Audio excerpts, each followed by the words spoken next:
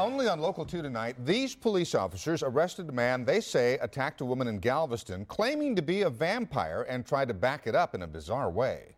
Yelling and screaming, growling, hissing. And then he said he didn't want to be forced to mm. kill anyone. Good evening and thank you for joining us. I'm Bill Balleza. Hello, I'm Dominique Sachse, and tonight that man is behind bars, and the officers who took him in are talking exclusively now to Local 2's Mark Boyle. He's live in Galveston with this bizarre story. Mark? Dominique, these officers say this is one of the most bizarre cases they have ever investigated. The victim did not want to speak with us on camera, but as you can imagine, she was absolutely horrified. Police say when they showed up here, they found the suspect running through the parking lot trying to get away. When these two Galveston police officers showed up to the oceanfront apartments on Seawall Boulevard, they found Lyle Bensley running through the parking lot nearly naked, claiming to be a vampire. He was adamant on the fact that he was a vampire and he had been here for 500 years.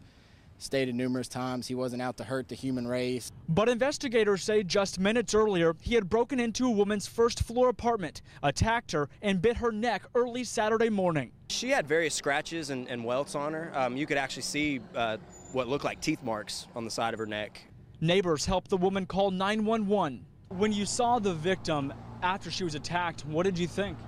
I, I, I felt so bad, sir. I mean, she was nervous. She didn't know what was going on. The victim said she had never met Bensley and doesn't know why he picked her apartment. Police showed up, and once they booked Bensley into the jail, they say he started acting out again. Yelling and screaming, growling, hissing. Um, he actually held on to one of the, the benches and was um, was warning us to restrain him because he didn't want to be forced to hurt or kill anybody. Um, again, you know, gnashing his teeth at us. And this notice right here is what apartment management sent out to residents about what happened at this complex. Now, right now, the suspect is in custody. He is charged with assault and burglary. For now, reporting live on Galveston Island, I'm Mark Boyle, KPRC Local 2. Now, police say they're still not sure if Bensley was on drugs the night this happened. However, we're told that he admitted to being drunk.